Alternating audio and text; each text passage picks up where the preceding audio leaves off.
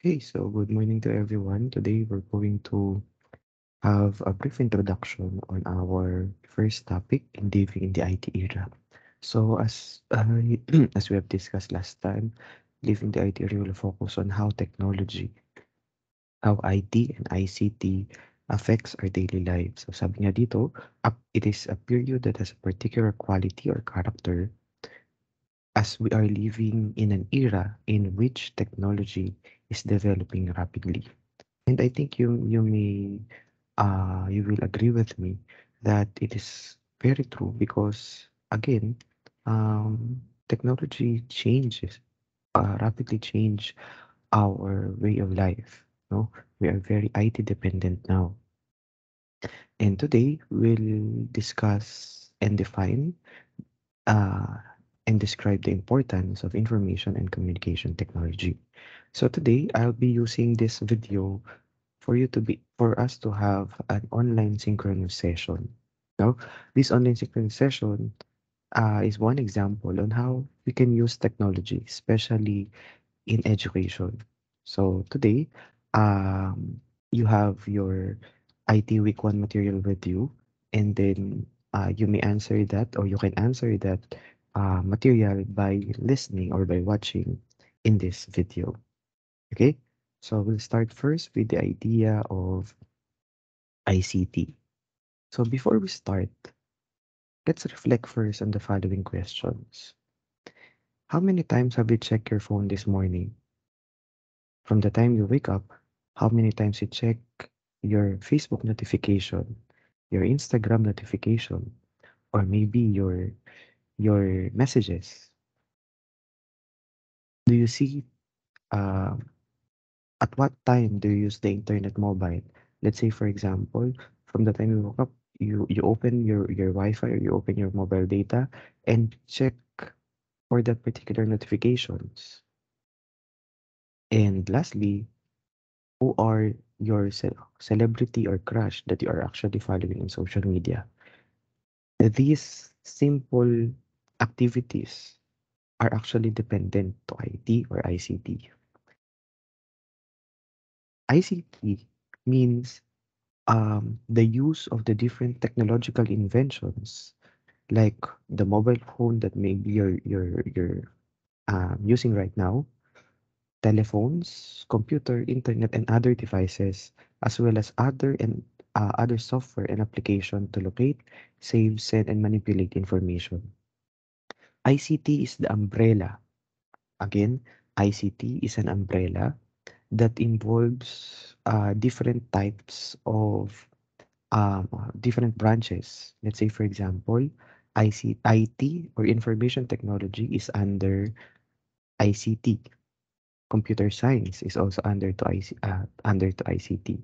Of course, communication technology, let's say um, electrical engineering, communications engineering, and the likes, they're all under ICT. Our gadgets have become part of our necessity that we check on them after we actually wake up. It also made our communication easier because of the use of mobile phones. You can easily uh, message or chat um, or send uh, a PM to your to your loved ones or to your friends. Aside from that, um, just like what we're doing right now, ICT can be used to have or to continue um, uh, edu- the educational system amidst the pandemic that we we we have experienced. No, you you've continued um, learning and um, studying through online lectures, through recorded lectures like this one. It also assists you in your day-to-day job, let's say, or day-to-day activities like shopping, uh, checking uh, products and services, buying from your own favorite online shopping sites, and the likes. No? Hence, information and communication technologies directly affects our day-to-day lives. That's why we are considered now as digital native. No? So when you say digital native, uh, especially you, no? Uh, millennials, Oh, especially especially us millennials, sasama ko na yung sarili ko. Uh, we are very much um, uh, in depth in the use of uh, technology to do the task that we usually do. And because of that, ICT help us. This all technology, mobile phones, internet, gadgets, smartphones, smart TVs, allow allow us to communicate well, to, to communicate better, making our communication limitless and boundless. You can communicate with your um, with your relatives outside the Philippines or any or from any part of the world, even though you're geographically apart. Modern information communication technology have created what we call a global a global village. A global village that encompasses all countries, all parts of the world that uh that that uh, from from the from the uh from the uh, limited way to communicate with them, like by sending them mails back then, by by sending um, handwritten letters back then. Now you can easily do uh, um, video calls with your friends, with your classmates outside the Philippines or outside our country, or maybe um, part of the country that that is uh, geographically apart. Because of this, we create a global village, just like what you're seeing right now on your screen. We uh, our gadgets are interconnected with it, we uh, to one another for us to be able to communicate more.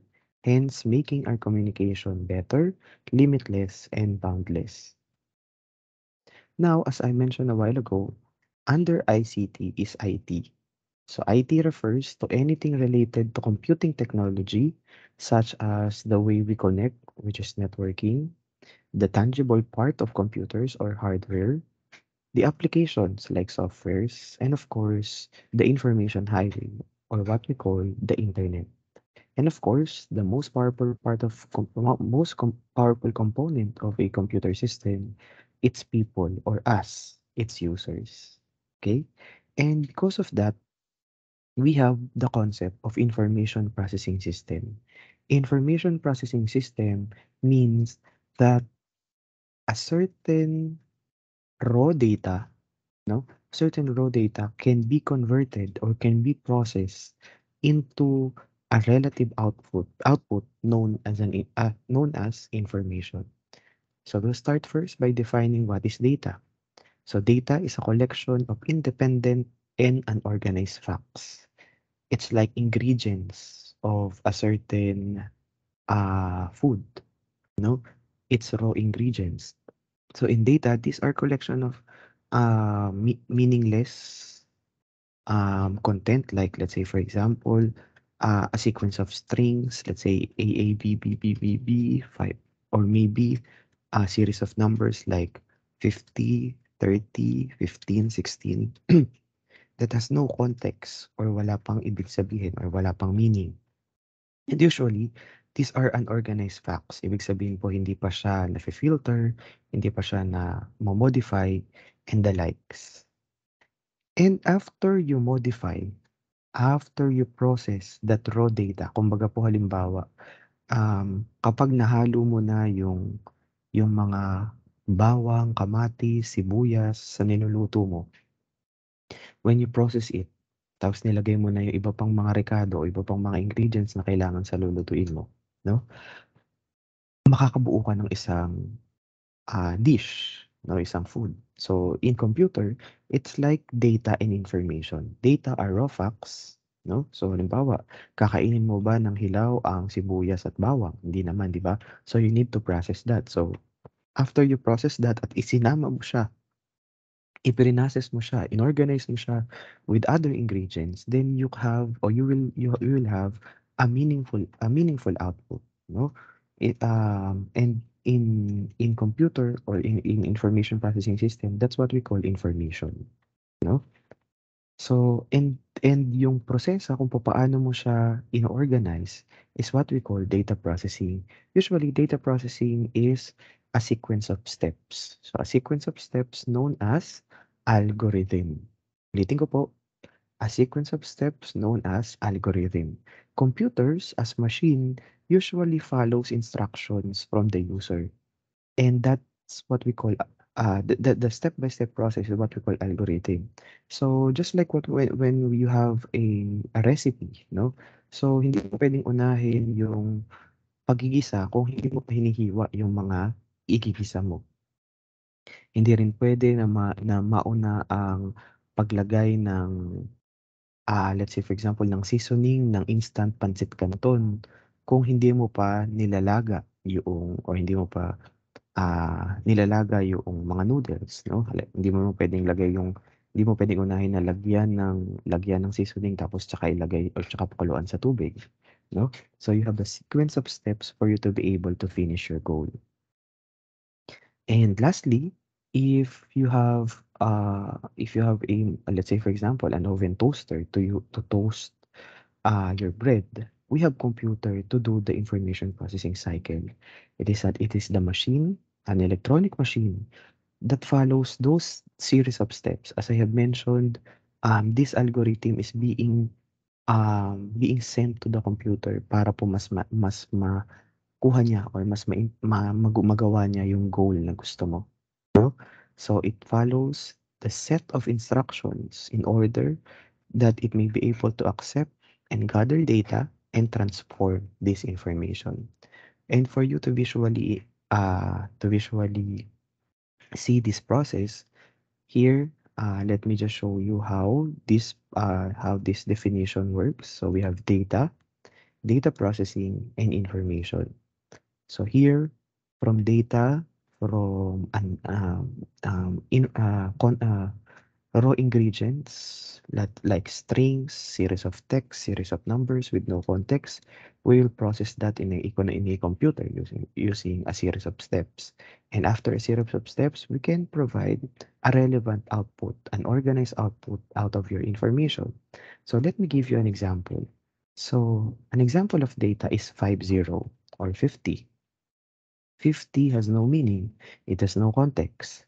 But when we try to process data, let's say for example, we put a person, uh, uh, let, let, we put a um, peso sign on that 50 pesos. Kumbaga parang yung bawang sibuyas nilagyan mo ng mantika, no? ginisa mo sa mantika. So it will form a different meaning.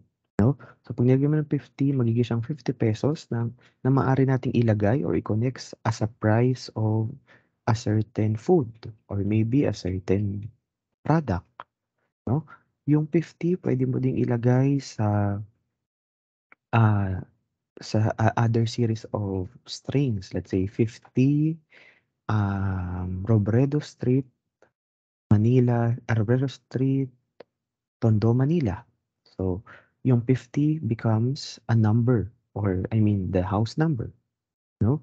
So, and so on and so forth. As long as we include or we organize or isinama natin siya with other data, we can produce information.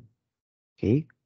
And as a test, using your IT Week 1 material, please complete the chart by supplying appropriate data in the cells by uh, by listening to this slide uh, by listening to this video. So first, let's see uh, the idea on how you will answer that chart. We'll start first with the idea of input. So input accepts and gather data. So this is data. No? So let's say for example, uh, bawang sibuyas kamatis, that's your data. No? So that's your input. No? So uh, there are several hardwares that uh, that accept input. No? So uh, on your on your uh, IT Week 1 material, there's one one uh, the first question is an uh, the first uh, item sa input ay banana. So now, think of uh, the think of any idea or think of any concept that you will supply on each cells. We'll start with banana. And the next one is processing. So from a raw banana, what processes you can do, what processes um, pwede mong gawin sa banana for it to become an information. And after that, we have the storage or or where you can store, no? So yung saging halimbawa, saan mo siya pwedeng ilagay for it to be uh, when you will present it as an information, no?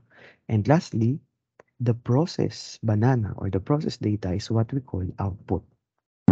So on your IT Week 1 material, you will answer um, a series of um, cells where you will think of any idea na sa tingin niyo po ay pap aakma doon sa bawat process, input, storage, and output ng mga nakikita niyo po.